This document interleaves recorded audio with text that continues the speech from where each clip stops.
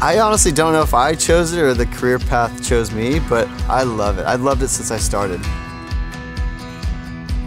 What's up, I'm Ryan Nyquist, professional BMX rider, and I'm super stoked to be partnered with Bobcat and their One Tough team. I think I'm just naturally a competitor, and so you're competing against other people, obviously, but really when it comes down to it, you're competing against yourself, like that idea of what you want your run to be like. 25 years as a pro, it's taught me a lot. I think probably the biggest lesson I learned is just to like roll with the punches. You know, our sport, it isn't an easy one. Like it's, you gotta take crashes and you gotta fall down and get back up, you gotta be tough. And looking back, it's, it's been a long road to get to this point, but I just feel like life is too short to be involved with something that you can't enjoy.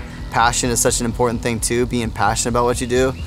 So for me, it's finding those things that I'm passionate about, um, whether it's filming myself out there in the backyard or just coming up with these crazy cool concepts and making them come to life. And then just constantly finding ways to have fun. Let's go!